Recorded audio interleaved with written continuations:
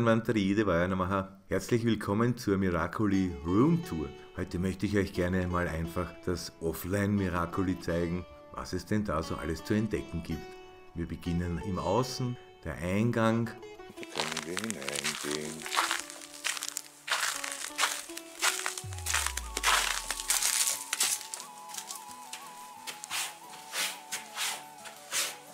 Und da sind wir schon angekommen in der Oase.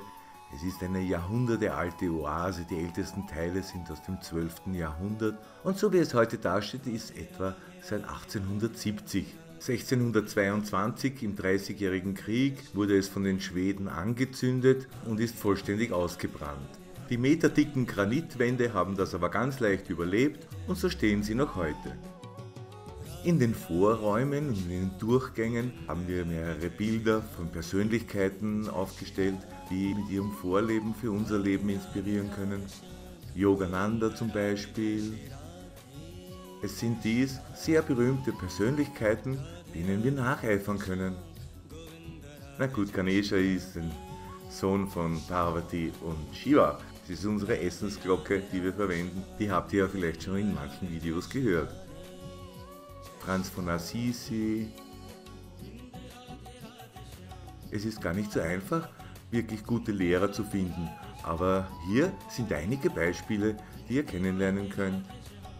Bevor wir nun weitergehen in die Küche, die ihr vielleicht auch schon kennt, drehen wir uns mal um und schauen uns die Speisekammer an. Dieser Raum ist etwas tiefer gesetzt, unbeheizt und hat also den ganzen Winter so ungefähr 4-5 Grad Celsius. Im Sommer wird es dann schon wärmer, wird es dann bis zu 13, 14 Grad in diesem Raum, bis im August hin. Es dauert schon eine Weile, bis sich alles aufheizt.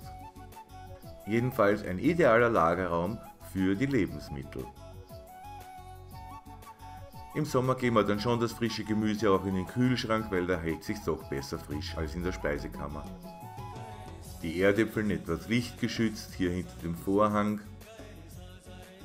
Die Karotten verstauen wir in dieser Kiste hier, in Sand eingelegt, so halten sie ganz lang bis in das Frühjahr hinein. Dann drehen wir uns wieder um, verlassen wir die Speis und schauen wir mal in die Küche hinüber.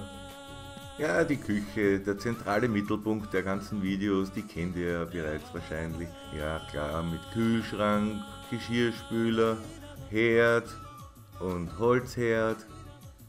Eine wunderschöne Küche. Hier finden auch immer die Kochkurse statt. Da schneiden wir gemeinsam und kochen gemeinsam.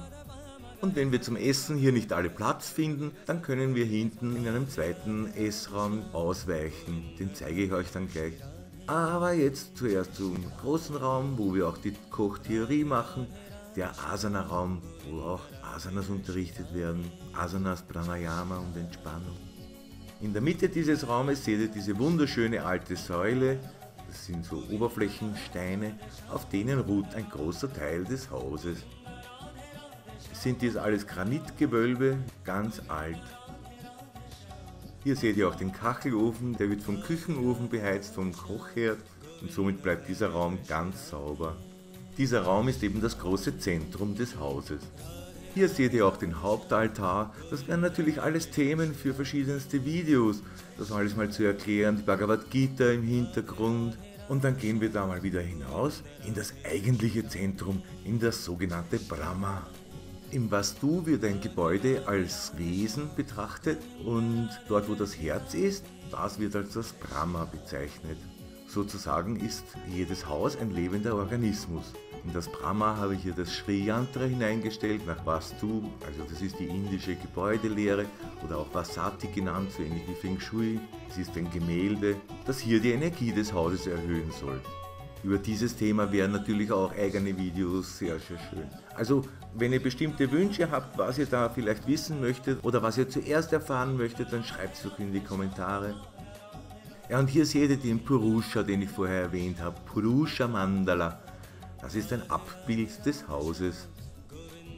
Gehen wir mal weiter in den nächsten Vorraum.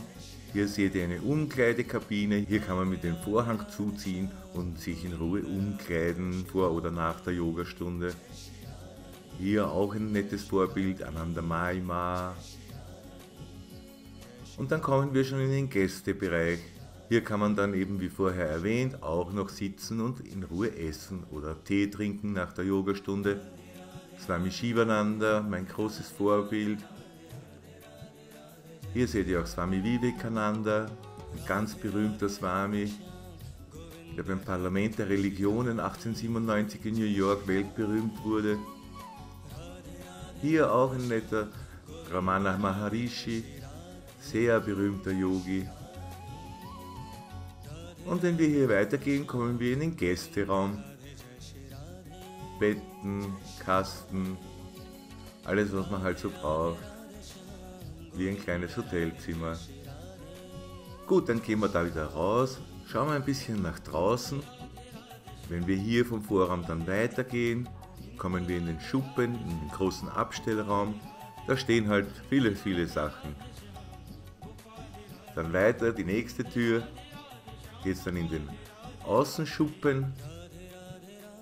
Da stehen halt einerseits die Mistkübel, na die kommen nicht ins Bild.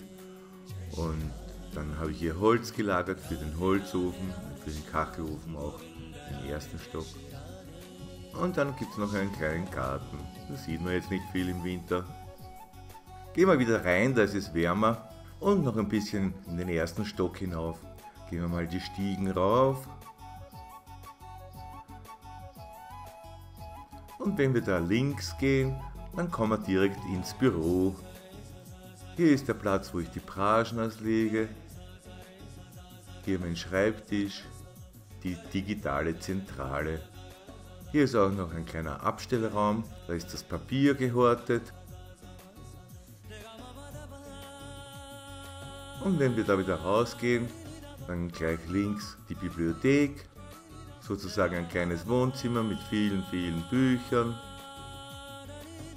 Und dann geht es hier in den Privatbereich, ja, Bad und Klo. Aber was ich euch gerne zeigen möchte, ist der Meditationsraum, der eben nur privat genutzt wird.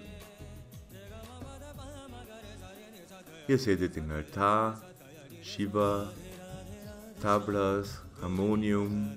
Das könnten wir natürlich auch mal nutzen für Videos. Ja, und wenn wir da wieder in den Vorraum hinausgehen, hier kann man auch sitzen. Geht es noch in die Kinderreiche. Hier einerseits das Besondere der Inspire Me Tree.